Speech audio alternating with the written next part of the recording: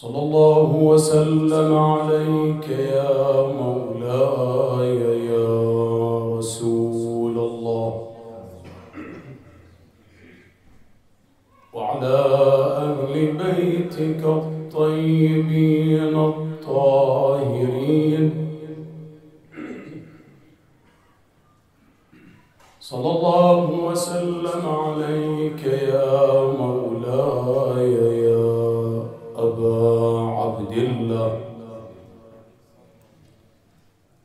صلى الله وسلم عليك يا ابن رسول الله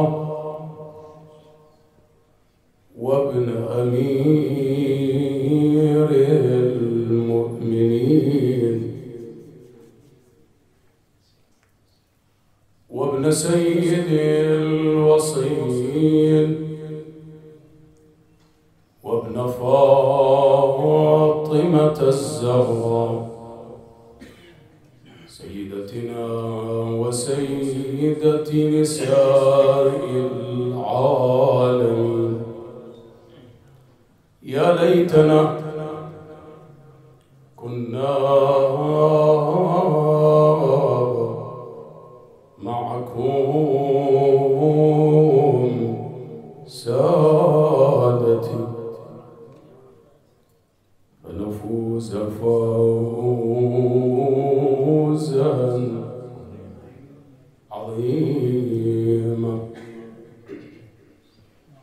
لله ما فعلوا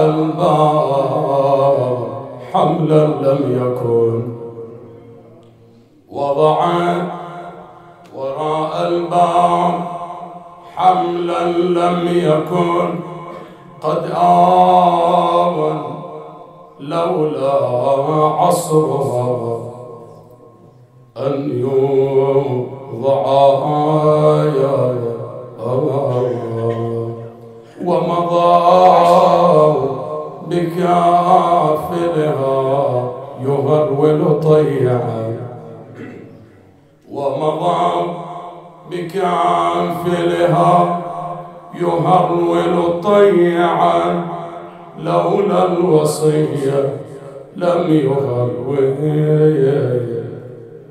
طيعا يا يا يا إيش سوت الزهراء يعز عليكم يا مؤمن إيش سوت فاطمة قال خرجت.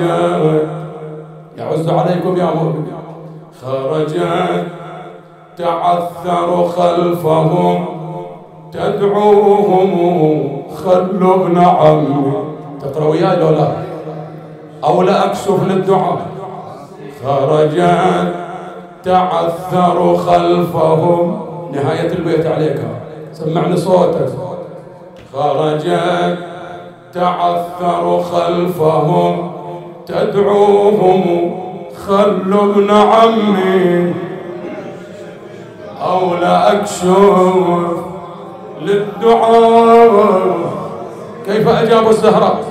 كيف أجابوا حبيبة رسول الله كيف أجابوا الزهراء؟ شلون تعاملوا مع الزهراء؟ قال عادوا إليها بالسياط فسودوا. عادوا إليها بالسياط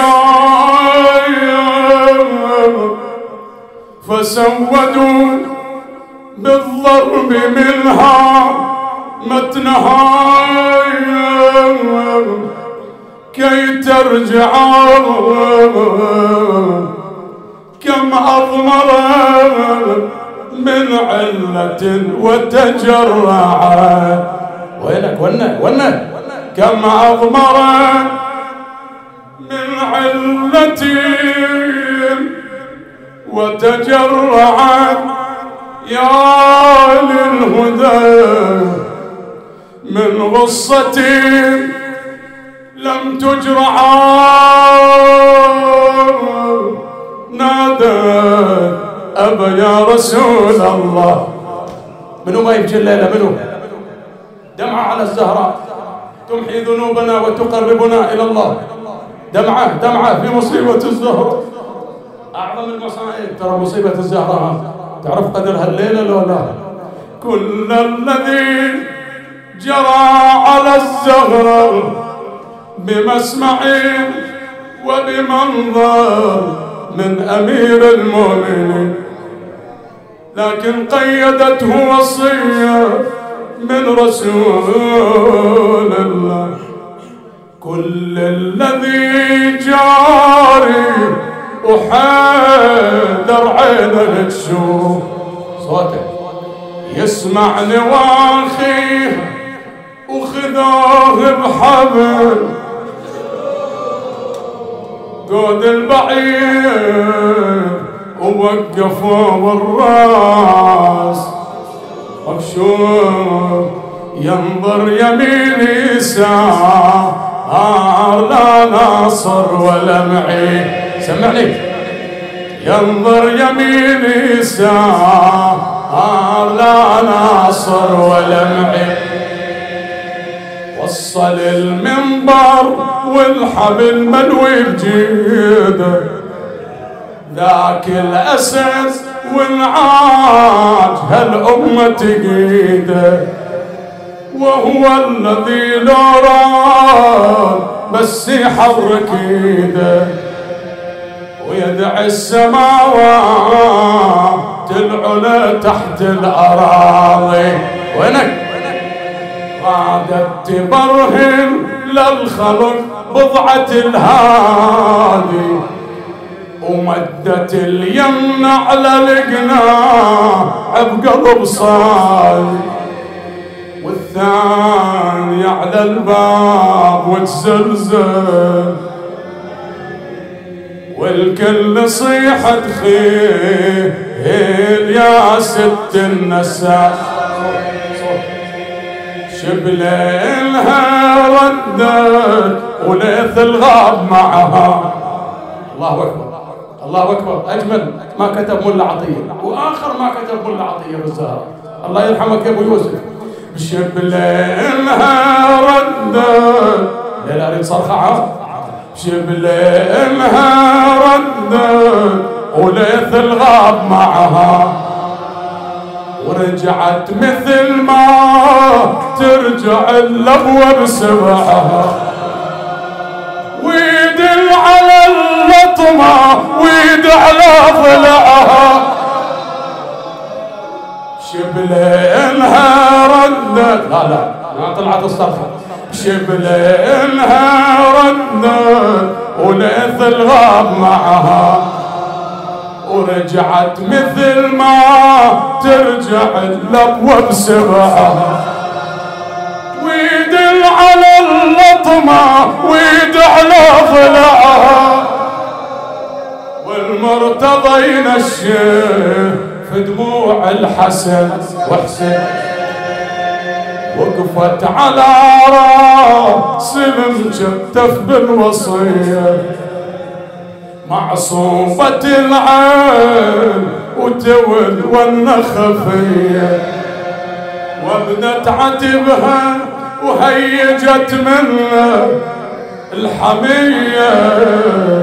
وقالها يا بنت المصطفى يحق لك تحتمي يواب يواب عاشت عقب فرقان. محظوظ ما هو ذليله من كثر تلويع الرجل صارت عليه. تحفظها. شحجي وشعدد من مصايبه الجليل كل ما شفت هالحار القلب يشتعل نار واعظم علي يوم بالحجرة. لا ما اسمع جواب ما اسمع. واعظم علي يوم شباب. بالحجرة لفتني. صيح النهب مني فدك وسوة ظلت تنوح من بجاه ذوبتني لولا الوصية والقضاء. صارت لها أخبار بعد بعد. سلمت لله وكسروا. ظنون الوديعة. ضعنا عقب عيناك يا أبو إبراهيم. ابياتك ابياتك جاروا علينا وضيقا بنا وسيم. صوبت على الكيل علينا تجسرون أنا ما أقرأ أنا ما أقرأ هالبيت أنت تقرأ. يا سيد الكون الوصية سيد الكون الوصية إلى البيت ها ما رعاها صرخت هجمة والدار على البتولة يا الله. ظلت تدافعهم وبالباب عصرها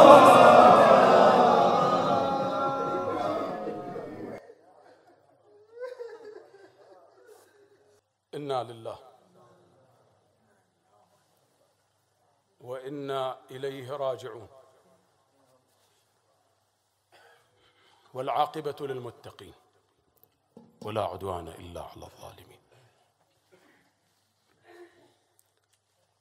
المجد يشرق من ثلاث مطالع. في مهد فاطمة فما أعلاها. هي بنت من؟ هي زوج من؟ هي أم من؟ من ذا يداني في الفخار أباها؟ لا شك أن أعظم امرأة في الدنيا. وأكبر شخصية عرفتها الحياة بعد أبيها رسول الله وبعلها أمير المؤمنين هي الصديقة الزهراء عليها أفضل الصلاة والسلام.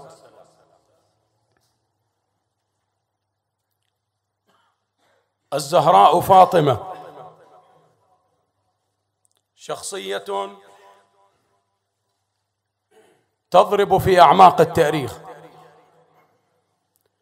وهذا الخط الفكري والتربوي والعقائدي الذي انطلق في الآفاق وترك اثرا كبيرا وبارزا على مسيرة الإنسان في الأرض.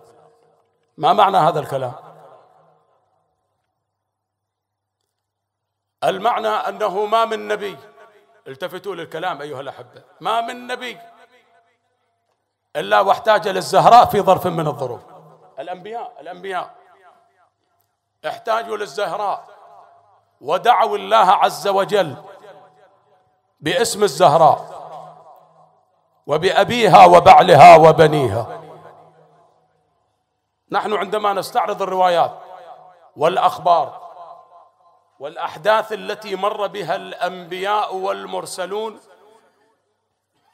نجد أن الأنبياء الأنبياء إذا نزل بهم الخط إذا أحدق بهم البلاء إذا اشتدت بهم الأزمات.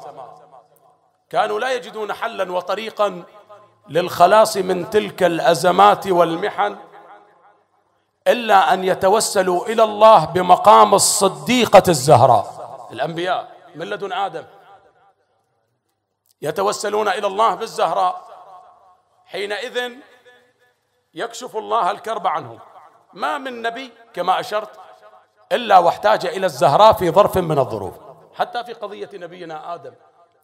عندما حدثت المشكلة يا شباب وأخرج من الجنة وأنزل إلى الأرض. ما الذي صدر من نبينا آدم؟ هل ارتكب معصية؟ النبي آدم ارتكب معصية؟ لا لأن النبي لا يعصي الله. النبي مسدد معصوم من أن يقع في الخطأ والزلل. نبينا آدم لم يرتكب ذنبا. إذا ما الذي صدر من نبينا آدم؟ بتعبير علمائنا شو يقولون علمائنا ترك أمرا توجيهيا إرشاديا ولم يترك أمرا تعبديا مولويا. شنو معنى الكلام؟ الأوامر تنقسم إلى قسمين. الأوامر التي تصدر عن الله عن رسول الله عن أهل البيت. يقولون تندرج تحت قسمين. مرة تكون أوامر تعبدية مولوية هاي اللي تندرج تحت تصنيفات الأحكام الشرعية. محرم مستحب مكروه. هذه أوامر تعبدية لا مفر منها. نسأل عنها بين يدي الله. مو بكيفك لابد تطبقها. صلاة واجبة لابد أن تصلي. أوامر يجب أن تلتزم بها. أوامر تعبدية. مرة تكون الأوامر أنت تقرأ الحديث. حديث يمر بك تقرأ. شوف أمر. بس هذا مو أمر تعبدي. أمر توجيهي. والمؤمن يكون فيه مخير. يطبقه ما يطبقه براحته. ليش؟ لأن يقولون ما إلى علاقة بمسألة العقاب والثواب والجنة والنار. أوامر توجيهات إرشادات عامة. فيها فائدة طبعا كبرى. تترتب على أدائها والالتزام بها. لكن نحن غير مطالبون بها بين يدي الله. أوامر إرشادية. هذا بالنسبة لنا إحنا الناس العاديين. أما بالنسبة للأنبياء وأئمة أهل البيت لا يختلف شأنهم. النبي والإمام المعصوم لا يحق له أن يترك الأمر الإرشادي فضلا عن الأمر التعبدي المولوي. اثنين مطبقهم وهذا الذي حدث لنبينا آدم. هو لم يرتكب معصية إنما إجى أمر توجيهي بدقة أتكلمها أن هالشجرة لا تأكل منها يا آدم. مو لأن العمل حرام لا تقترب منها. أمر توجيه إرشاد عن الله لكن مع الأسف هو أكل من تلك الشجرة. الله سبحانه وتعالى. طبعا لأنه شخص غير عادي هو نبي. فاتخذ الله منه موقفا وأخرجه من الجنة وأنزله إلى الأرض. فبقى نبينا آدم في حالة من الندم والدموع. ظل يبكي. بكاء طويل مرير في حسرة. حتى عد من البكائين الخمسة. مو صحيح؟ البكاؤون. ها شباب. خمسة. البكاؤون خمسة. أولهم منه نبينا آدم. بكى بكاء طويلا مريرا. الثاني نبينا يعقوب. بكى على فراق ابنه يوسف. الثالث نبينا يوسف. بكى على فراق أبيه يعقوب. الرابع هي الصديقة الزهراء سلام الله عليه. بكت بكاء طويلا. بعد فراق أبيها رسول الله. الخامس هو الإمام زين العابدين. بكى بكاء طويلا. المؤرخين يقولون 35 سنة. ما قدم له طعام أو شراب إلا ومزجه بدموعه. على كل حال شاهدي وين؟ أنه نبينا آدم. ظل يبكي. بكاء طويل مريض. يطلب من الله عز وجل أن يتوب عليه وأن يعيده إلى منزلته الأولى. ظل هكذا في هذه الحالة إلى أن هبط عليه الأمين جبرائيل. ما قلنا الأنبياء احتاجوا لهذه الأسماء ودعوا الله عز وجل بها. هبط عليه الأمين جبرائيل. يا آدم ترى هالمشكلة ما تنحل. تبقى أنت على هالحال. لكن الحل عندي. من الذي يتحدث؟ أمين وحي الله. سيد الملائكة جبرائيل. يا آدم أنت تحتاج لهذا الدعاء. ادعو بهذا الدعاء تنجلي كربتك. ويتوب الله عليه وتعود إلى منزلتك الأولى. توسل بهذه الأسماء. وين هذا الدعاء؟ وين هذا الدعاء؟ انقذني به. قال هذا الدعاء. ادعو به فإن هذا الدعاء ليس بينه وبين الله حجاب. يصل إلى عرش الله. وإن شاء الله تعود إلى منزلتك الأولى. ما هو هذا الدعاء؟ قال له ادعو إلهي بمحمد. وأنت المحمود. من أعظم الأدعية عندنا ها؟ إلهي بمحمد. وأنت المحمود. وبعلي. وأنت الأعلى. وبفاطمة. الله ما أجمل هذه الأسماء. تؤثر حتى في الجبال الرواسي ها؟ تفتح أبواب السماء. بفاطمة وأنت فاطر السماوات والأرض. بالحسن وأنت المحسن. بالحسين. وأنت قديم الإحسان. بمجرد أن دعا نبينا آدم بهذا الدعاء تاب الله عليه وأعاده إلى منزلته الأولى. وهم كلمات آدم. إذ تلقى فتاب بهم. بهذه الأسماء. فتاب بهم عليه. يعني نبينا آدم واستجابوا أخاف أن أحدكم يقول هالكلام ما يقولون إلا الشيعة بس. الشيعة اللي يقولون الحكي كررونه غيرهم ما يقول. لا شوف غيرنا شو يقول. من يقول هذا الكلام ما يقولون إلا الشيعة؟ أنا أحيي لك إلى مصدر. يعني الليلة شباب شوي بالإنترنت اكتب بس.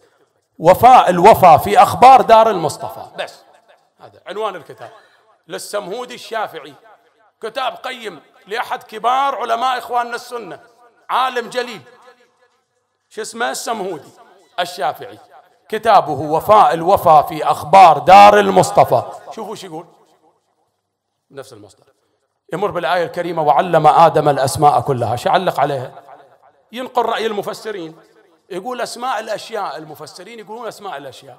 يعني نبينا آدم في بداية الأمر ما كان يعرف أسماء الأشياء. فهبط عليه الأمين جبرائيل فقال له يا آدم ترى هاي الشمس هاي القمر هاي الأرض هاي السماء. أخبره بأسماء الأشياء. شعلق عليها السمهودي؟ عالم سني. يقول هذا تفسير ضعيف. هذا التفسير يقول هذا تفسير غير مقبول. ولا يأخذ به أصحابنا. إذا ما هو التفسير الصحيح؟ قال التفسير الصحيح الأسماء هي محمد. وعلي وفاطمة والحسن والحسين.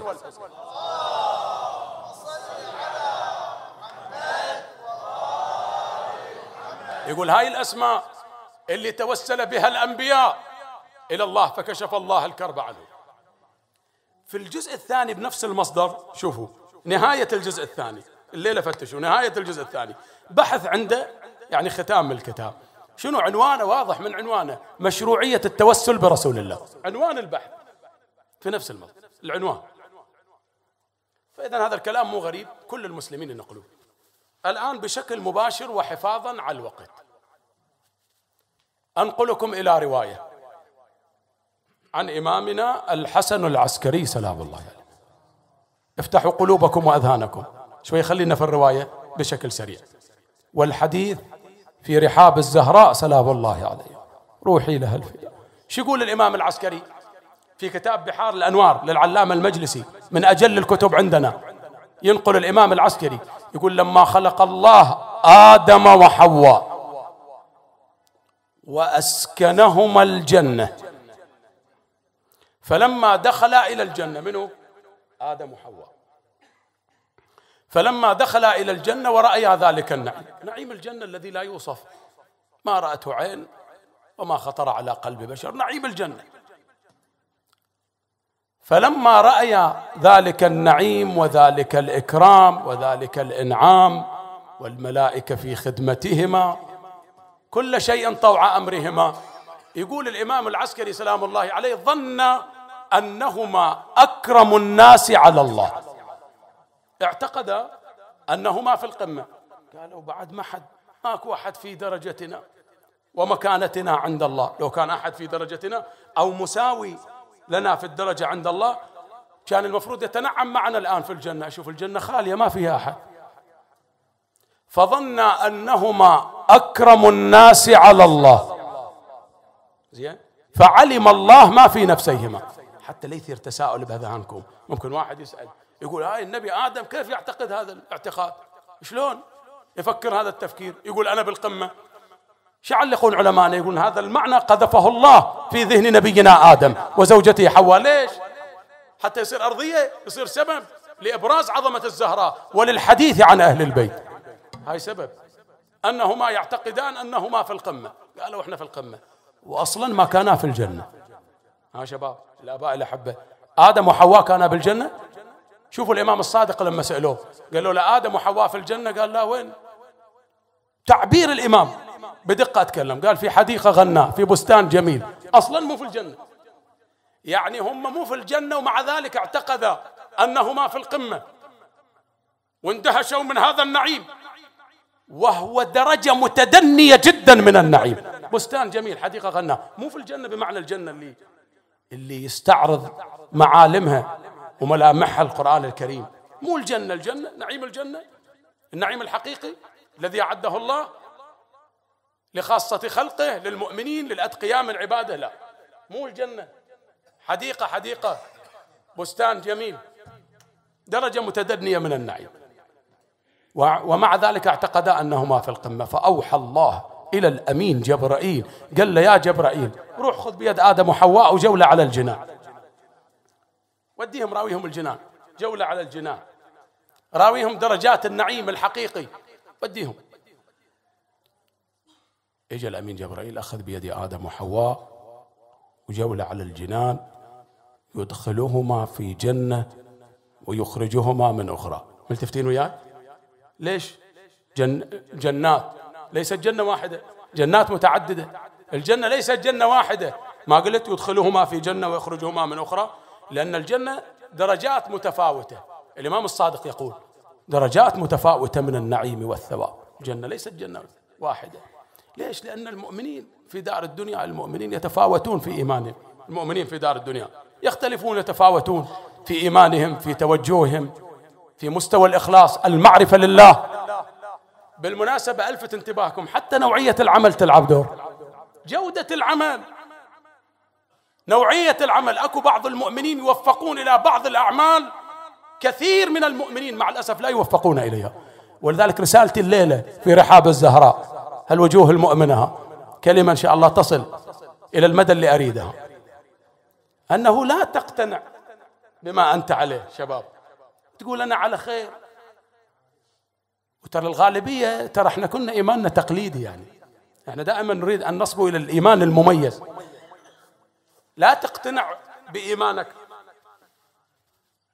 على هذا الشكل. أن يكون تقليدي لا. خليك مؤمن مميز اندفع. امتاز ببعض الأعمال التي تقربك إلى الله. ترفع من مكانتك. الليلة بمجلس الزهراء تحدد موقعك في الجنة أنت وين تريد؟ وين تريد؟ بأي درجة؟ من الجنان. أنت حدد. درجة. بعض الأعمال كثير يغفلون عنها وهي ترفع من مكانة المؤمن. تكون إلى درجة خاصة عند الله. والله العطاء والجزاء والمكافأة والأجر يتحدد على في على مستوى العمل في دار الدنيا. من الذي يفكر في قضاء حوائج المؤمنين؟ قليلين. قليل. اللي يعيش هذا الشعور أنه يريد يقضي حاجة أخوه المؤمن. يتلمس حوائج الناس. يسعى في قضاء حوائج الناس. يقدم العون للناس. يعيش هذا الشعور دائما. قليلين والله.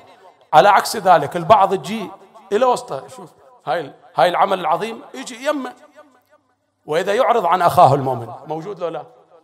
ها أحبتي تروح له بموقع العمل ولا كأنه يشوفك. تمر عليه تقول له هاي الموضوع قال لا الموضوع مو عندي أنا روح من هناك ولك حرك روحك من الكرسي أول. وينك أنت؟ ما تقوم تقضي حاجة أخيك المؤمن؟ عمل عظيم. أكو كلمة عند الإمام الصادق أنا أريد أبينها لكم. والله يعني كلام شوية يعني يخلي الواحد شوية صيده خوف يعني. على أنه هذا المؤمن الله اللي مرسلنا إليه. مؤمن بس أنت ما تضع له شأن. صغير في عينك. فلان مر عليك فقير ما تحرك روحك من الكرسي ها؟ موضوع مو عندي. يجي اثنين الله يطرش لك واحد ثاني. كلام عن الإمام الصادق. بعد الثالث خلاص. ما تقوم؟ الله يقول لك أريد أعرفك الآن مستواك. الحين خليك تقوم. تبادر. تصير نشط. تقول بخدمتكم تريد خدمة؟ أمر واحد من أهل الدنيا. بس شوية شخصية ولباسة شوية. ملفت. لكنه منحرف يشرب الخمر. فيعظم في عينك. فرأسا يقوم. ما عندك حاجة نقضيها لك؟ هاي شنو اللي عندك القضية أنا جيبها شوف الله يقول لك هذا مستواك. عبادي المؤمنين ثلاثة طرشتهم إليك. ما قضيت حاجتهم مو صحيح؟ فأنت مستواك هذا أن تقضي حاجة هذا الرجل. المنحرف. اللي يشرب الخمر الفاسق ففي أعمال مهمة. تحدد موقعك في الجنان. تخطر موقف لأحد علمائنا. واحد من علمائنا علماء الطائفة. مرجع تقليد. هذا كل يوم من الصبح عند خروجه إلى الدرس. يقف عند باب داره خمس عشر دقائق يوقف. انطأطأ راسه هكذا ذاكرا لله غاضا بصره. يذكر الله عز وجل الطلبة المشايخ التفتوا كل يوم المرجع يقف عند الباب عشر دقائق قبل أن ينصرف إلى الدرس. قالوا هاي لازم نسأل عنها غريبة هذه. ليش يقف؟ هكذا. فسألوه سيدنا شيخنا تقف عند الباب كل يوم إحنا ننتظرك الدرس أنت توقف دقائق عند الباب. إيش عندك توقف؟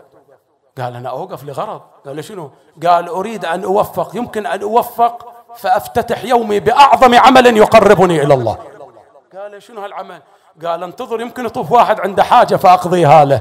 ينتظرني ينتظر متى يطلع المرجع؟ أو الشيخ قاعد واقف ينتظره متى يطلع؟ فيقول له أمشي سريع يمكن ما يلحقني. فأوقف دقائق. أنطي مجال يمكن واحد يمر عنده حاجة وشيخنا انتظرك متى تطلع؟ ترى عندي حاجة. فأقضي لا أقضيها له. فأوفق في أعظم عمل يقربني إلى الله يجعلني في القمة. وأوفق طوال يومي.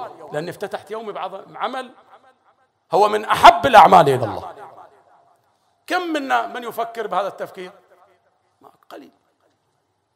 أليس كذلك؟ فالجنة درجات. بس الجنة درجات؟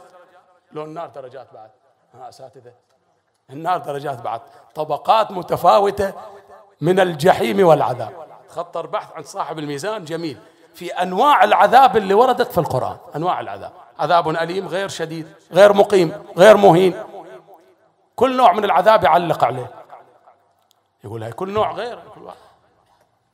يقول ولهم عذاب مهين. شو علق عليها؟ يقول الله يريد الله يريد يهين بعض الشرائح في يوم القيامة. الشرائح الذين يعذبون في جهنم. ولهم عذاب مهين. الله يريد يهينهم. شعلق عليها العلامة الطباطبائي يقول من سلخ العمل الذي ارتكبوه. كان ما يتورع. يمشي يهين أخاه المؤمن يمشي الله يهينهم يوم القيامة. ولهم عذاب مهين. فيه إهانة.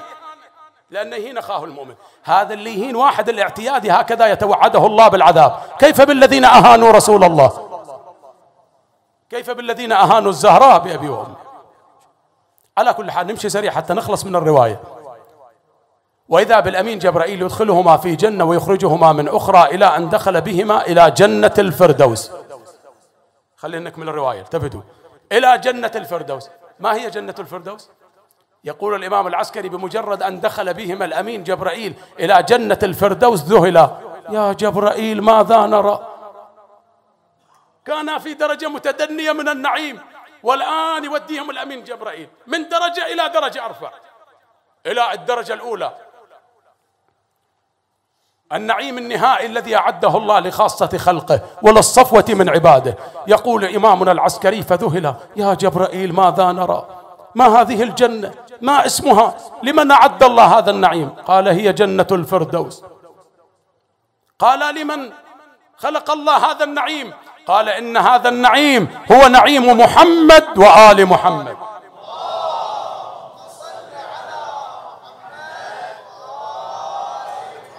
هذه جنة الفردوس. نفسها جنة المأوى اللي يشير إليها القرآن. نفسها جنة الخلد اللي يعبر عنها الإمام الصادق. كلها تشير إلى هذه الجنة. أرقى درجات النعيم. كل شيء في جنة الفردوس يستدعي التأمل. ومميز. ويستدعي التساؤل والتعجب إلا أن الإمام العسكري يقول مر الأمين جبرائيل بآدم وحواء أمام مشهد أمام منظر منزل من المنازل. فوقف قال يا جبرائيل ولا خطوة واحدة نتقدم. ماذا نرى؟ كل شيء يستدعي التأمل بس أكو شيء أكثر. أخذ اهتمامهم وتعجبهم ماذا نرى يا جبرائيل؟ قال هي سدرة المنتهى. سدرة تتلألأ بالأنوار إلى عنان السماء. سدرة سدرة المنتهى. أنوار تتلألأ منها إلى ساق العرش. سدرة. ما هذه السدرة يا جبرائيل؟ قال هي سدرة المنتهى في جنة المأوى. ما هذه الأنوار؟ منو اللي تسأل؟ حواء. بدقة تكلم الإمام العسكري يقول حواء تقدمت. قالت يا جبرائيل هل أنوار المن هاي اللي تتلألأ قال إنها أنوار فاطمة بنت محمد. هذه أنوار الزهراء. أنوار فاطمة لأن الله جعل نور الزهراء في سدرة المنتهى في جنة المأوى. ولذلك يقولون العلماء أن نطفة الزهراء ما تقلبت في الأصلاب. هاي خصوصية. حتى نطفة رسول الله تقلبت في الأصلاب الطيبة الطاهرة المباركة. إلا نطفة الزهراء. خصوصية. ما تقلبت في الأصلاب. شاوين عجل؟ قال من ثمار الجنة في سدرة المنتهى. في جنة المأوى إلى أن عرج برسول الله في ليلة الإسراء والمعراج. شايفين نفس الموقف ها؟ شعلق صاحب الميزان يقول ما من خصوصية ما من قضية لرسول الله ولأهل البيت إلا ونجد لها سابقة في تاريخ الأنبياء. لازم حدثت من قبل لأحد الأنبياء. ليش؟ لأنه يقول له صايرة أول مرة مثلا والله حتى لو القرآن يتحدث عنها وهي تخص أهل البيت يكذبونها المسلمين. عداء لأهل البيت. يقول هاي ما صارت. حتى لو يتحدث بها القرآن. يقول هاي ما صارت. هاي أول مرة هاي من افتعالات الشيعة. لكن لما القضية صايرة من قبل شو يقول صاحب الميزان؟ يقول تصير أرضية لقبول نظائرها في أهل البيت. أضرب مثل الليلة إحنا مجتمعين المن مول الزهراء زهراء. سيدة نساء العالمين من الأولين والآخرين. بضعة رسول الله. الزهراء بما للزهراء من عظمة. يمكن واحد يقول والله الشيعة تبالغون. مثلا أو كذا. أو يحاول يناقش نقول له أمامك السيدة مريم. السيدة مريم ما اصطفيها ما اصطفاها الله. ما طهرها. يعني يصطفي السيدة مريم وما يصطفي الزهراء التي هي سيدتها ومولاتها. إذا أكو شبه سيدة مريم موجودة. أليس كذلك؟ الآن هاي القضية. حتى قضية الإمام الحسين مثلا. مقتل الإمام الحسين. نحن نجتمع من أجل الحسين مثلا. لماذا؟ موجودة موجود شبه لمقتل الحسين في تاريخ الأنبياء لو لا؟ موجود. النبي يحيى. لماذا نقرأ شهادة النبي يحيى؟ لأن أكو شبه شوية أكو أوجه شبه بين مقتل النبي يحيى وبين مقتل الإمام الحسين. فحصل على هالميزة أنه حوصر قتل مظلوما وقطع رأسه وأهدي وأهدي رأسه إلى بغي من بغايا بني إسرائيل. نفس القضية حدثت للحسين. إذا هنا المنزل الذي توقف عنده آدم وحواء نفس المشهد يتكرر لرسول الله. بسم الله الرحمن الرحيم. ولقد رآه نزلة أخرى. وين هالنزلة؟ عند سدرة المنتهى. وين هالسدرة هاي؟ عندها جنة المأوى. إذ يغشى السدرة. في ليلة من الليال على هالمنبر الشريف إحنا تكلمنا بتفصيل حول هالآيات في شهر رمضان. إذ يغشى السدرة ما يغشاه. إذ يغشاها ما يغشاها من النور ومن القداسة. ما زاغ البصر وما طغى. بصر الرسول. ما حاد يمينا ولا شمالا. النتيجة شنو؟ لقد رأى من آيات ربه الكبرى. نفس القضية ما علق. الوقت انتهى. نفس القضية لنبينا آدم وحواء. يا جبرائيل ماذا نرى؟ هاي السدرة. لأن الله أوجد أنوارهم. مو فقط الأنوار لا يشتبه عليك الآن.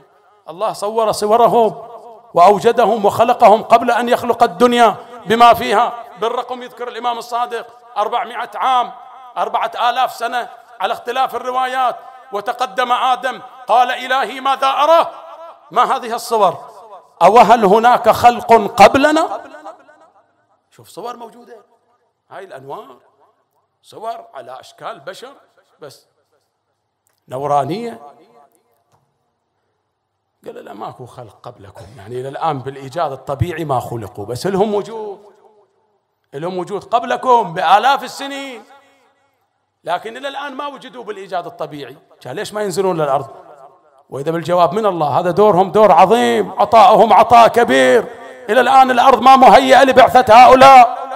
رغم أنهم لهم وجود أنوار حول عرش الله محدقين.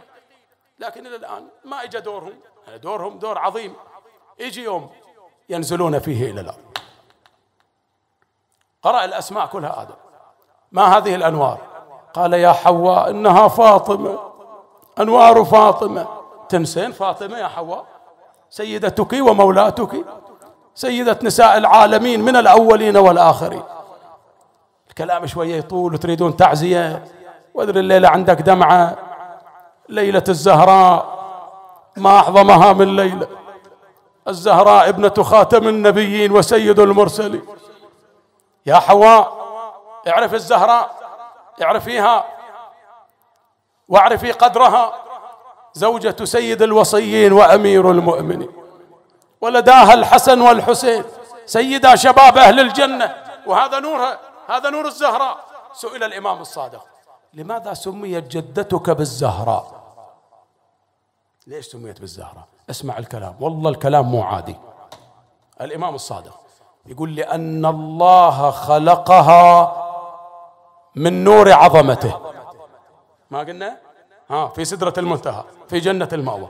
فلما أزهرت أضاءت السماوات والأرض الزهراء بأبي وأمي وغشيت أبصار الملائكة وخر الملائكة لله ساجدين وقالوا إلهنا ما هذا النور؟ جاء النداء من الله هذا نور من نوري.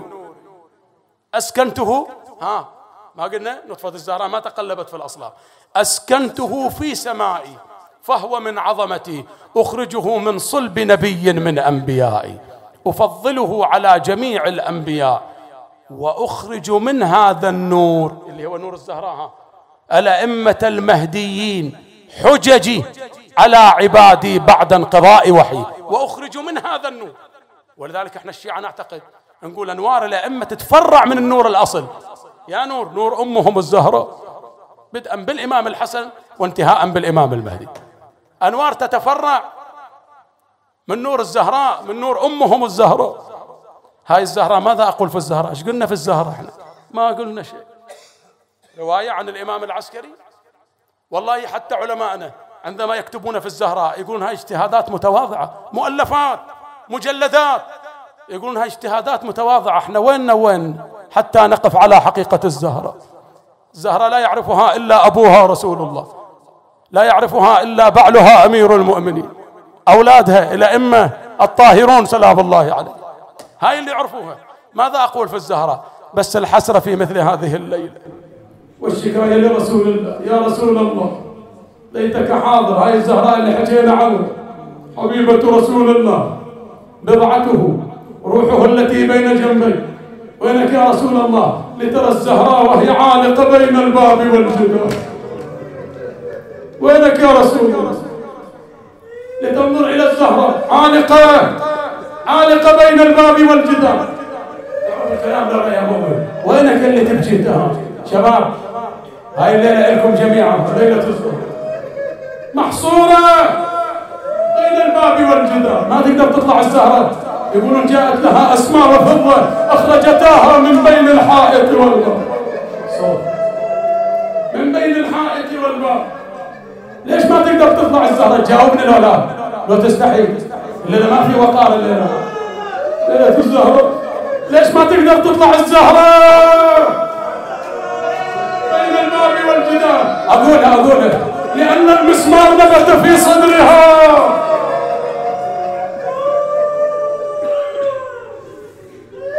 شعر أن الزهراء هذا الليلة ما نقراها متى نقراها شعر أن الزهراء خلف الباب سوى رفس الباب برجله. يا ليتها شلة. الله زهراء خلف الباب. اتكى على الجدار. وضغط على الباب وعصر الزهراء بين الباب والجدار. المسمار في صدرها؟ المحسن وين؟ وين جليل الزهراء؟ ما سألنا عن الجنة وين جليل الزهراء؟ مرحومة مرحومة الصرخة وينك يا صاحب الزمان؟ وين الجليل؟ الجليل يتعثر على الأعتاب علما علما تشكو الزهراء. ما عاد أحد يدافع عنها يقولون التفتت إلى قبر أبيها رسول الله. الونة اللي تنتظرها. هاي الونة ونة تكون ها على لسان حال الزهراء. تحكي مع أبيها. يا ابويا يا ابويا ترضى يذلوني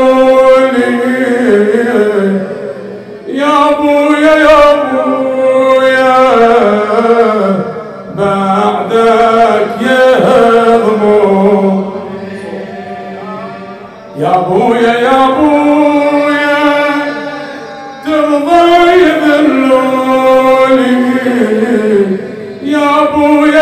يا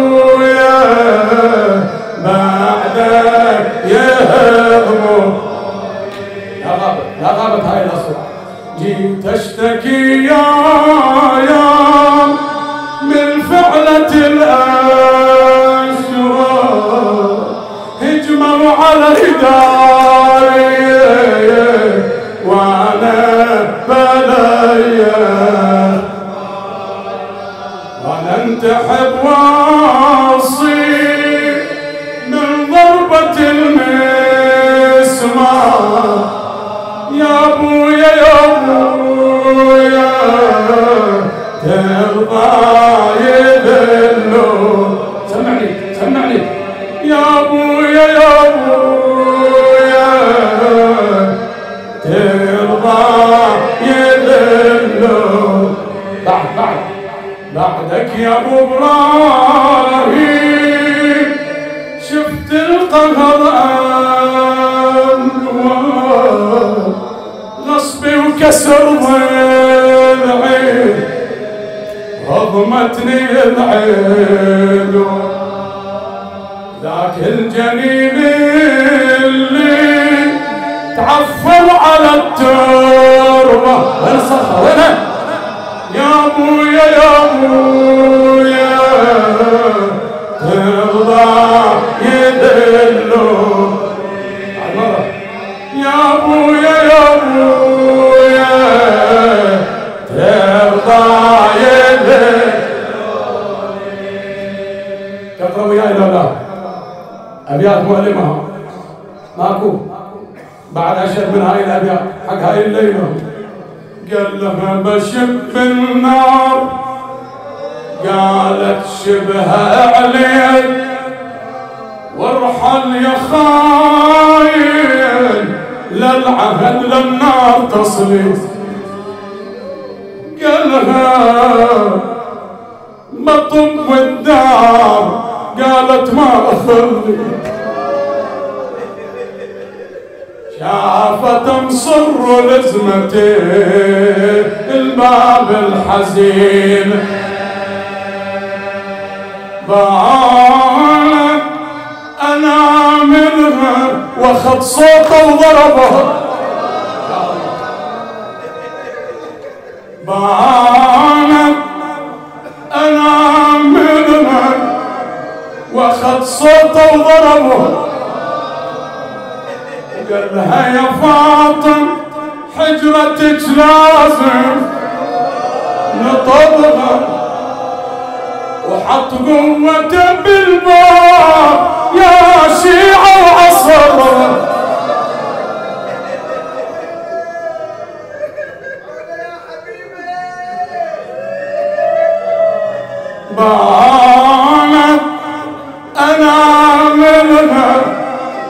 صوته وضربه قال لها يا فاطم حجرتك لازم نطبها وحط قوته بالباب يا شيعة وعصر فاطم تنادي يا رسول الله تكون. تتحمل أقرأ؟ وانفتح باب الدور والزهرة للأخمار ولأجل الستر لاذن ما بينه وبين الجدار نادى على أصحابه وهجم بهم على الدار والباب لاذن للستر بضعة نبيل. ما أقدر ما أقدر جاهم وعصرها وفوق وجنتها لطمها. وويله صرخة صرخة إلى قبر رسول الله. جاءها وعصرها وفوق وجنتها لطمها. بالعين بالعين بالعين كسرها ببطنها ولا رحم بالعين كسرها ببطنها ولا رحمها وزينب تشوفها وقامت تدافع عنها.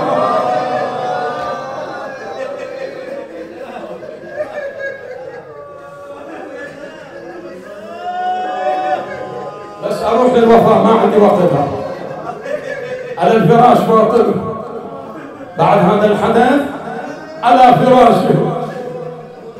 تجول بنفسه. تلوج بنفسه. تؤن علينا يقطع القلوب. يا ابن العام ما عهدتني كاذبا ولا خالف ولا خالفتك منذ عاشرتني. قال معاذ الله أنت أبا؟ وأتقى وأشد خوفا من الله من أن أوبخك بمخالفتي إياك.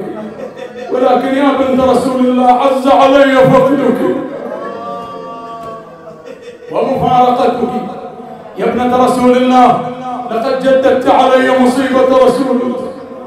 فيا لها من مصيبة ما أمضها وأشدها نظرت إليه أوصته بوصاياها. يا ابن العم إذا أنا قضيت نحبي فغسلني وكفلني. وحنطني ببقية حنون أبي رسول الله. وادفني بالليل إذا نامت العيون وهدأت الأبصار ولا تدع أحدا ممن ظلمني وكسر ظلمني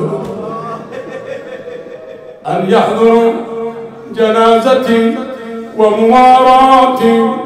واصنع لي نعشا فإني رأيت الملك قد صورت صورة. قال صفيه لي يا فاطمة فوصفته له. عمل علي بوصية الزهراء وكان أول نعش حمل في الإسلام. ثم نادت يا ابن العم خذ الحسن والحسين وامض بهما إلى قبر رسول الله. يا يا. خرج علي في بعد الحسن والحسين.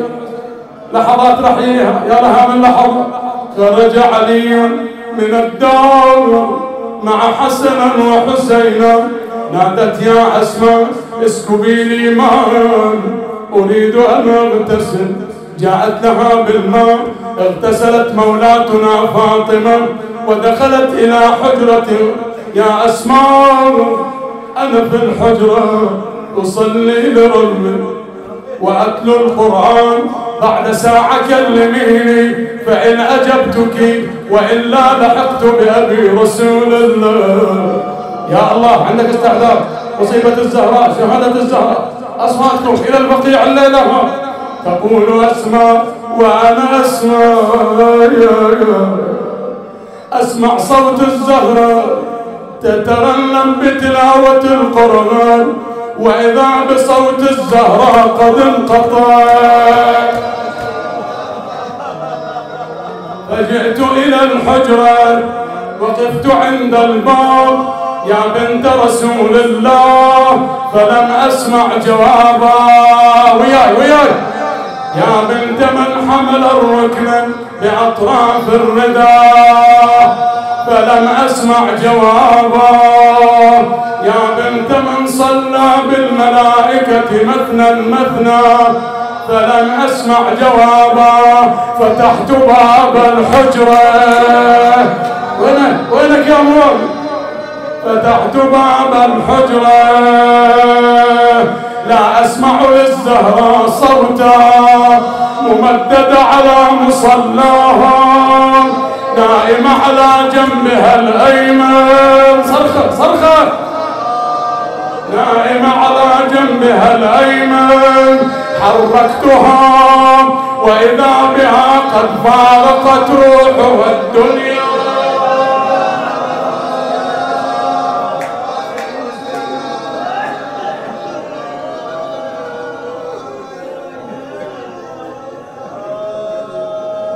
الله من نادى وفاطمه من مناد ومصيبته أقبل الحسنين. يا أسماء أين أمنا فاطمة ما نسمع ما نسمع عنيها حجى الحسن أخي حسين لعل أمي فاطمة. شفيت من مرضها. ما نسمع ما نسمع صوت من الزهر يا أسماء أين أمنا فاطمة؟ قالت هي نائمة في الحجرة. قال هذا ليس وقت نوم أمنا فاطمة قدمت لهما الطعام فأبيا أن يأكله لا نأكل إلا مع أمنا فاطمة. ليش ما نسمع؟ ونمنا ولا نسمع كلام. إن شاء الله طابت العلة وطعام ضرب ابن اللئام يا أسماء سافرت عرض الشهيد يصيح لا تفاول ترى قلب الكسا سالمة ويا ريت يا ابن امي كلامك لا يكون. فال السلامة ولتعلتها تهون. قال خويا ابن نحيله. وبهضها ضرب المتون. يسأل الله الظلة ينكسر من الزهر الجبر وين يا ابن أم السلامه والجسد منها نحيل. أنت تقرأ أنت تقرأ. وين يا ابن أم السلامه والجسد منها نحيل. والضلع منها مكسر وين المعزين ما اسمعوا والضلع منها مكسر والصدر دمر يا الخويا وظلتي هاليوم والليلة يا بعد أهلي تشي والأسف ما وصلت عشرين خويا من العمر. دخل على أمي مزور حركها وإذا بها ميت بقلبك بقلبك. مكبل حسن على صدر أمك الحسين عند رجليها. أمه فاطمة. أنا حبيبك الحسين.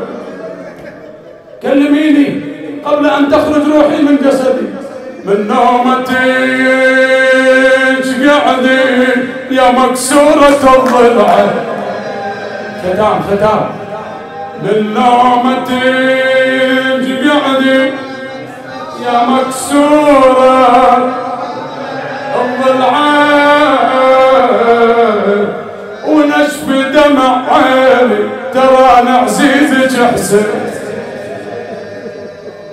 ما كانت العادة عن اولادي تصدي خان الدهر وتشمتت بين الأعادي. بيت الختام للزهراء تخاطب أبيها رسول الله. أبا أبا يا رسول الله. اللي ما بكى يبكي في هالبيت ها. اللسان حال الزهراء الله يعودك. على هالليلة. ما تدري تعود يلا دمعة على الزهرة نادت أبا يا رسول الله. ليتك حاضر لتنظر ما جرى على ابنتك من وعده. تقول له أبا أبا يا رسول الله آمر على عبد ضربني. آه آه آه. أمر على حامد اعط البيت حقها. ضربني ومن ضربته للقاع ذهبني ومن ضربته للقاع ذهبني ولا انكسر قلبه ولا رحمني ابن الناس ما واحد حشمني. بيت الدعاء أريد الكل يقرأ صرخة واحدة. يا قلب ذوب يا قلب ذوب يا دمعي. على الماتة تصرخ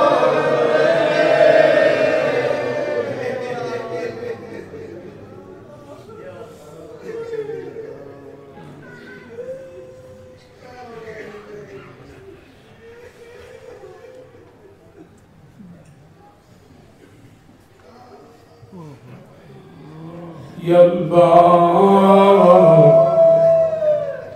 يا البار لبست الحزن طول الدهر.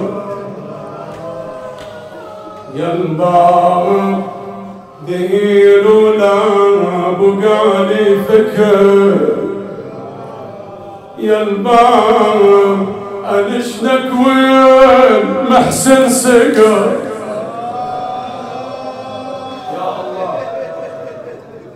إلهي بالزهراء وأبيها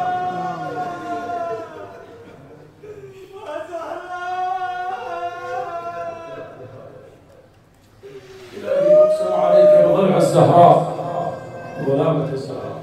فرج عنا. اقضي حوائجنا. فك أسرارنا. اشف مرضانا.